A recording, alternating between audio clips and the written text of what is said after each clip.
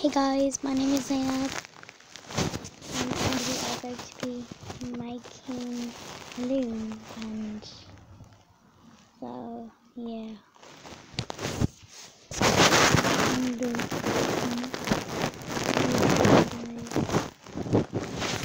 you are going to take one, put your finger and put it through like this taking the line and do this.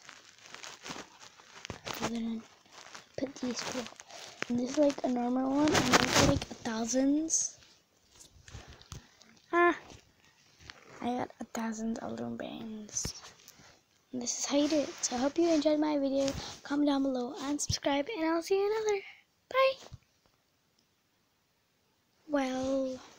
I was about to, but I just wanted to say that, guys, this is my first video, and it's really cool.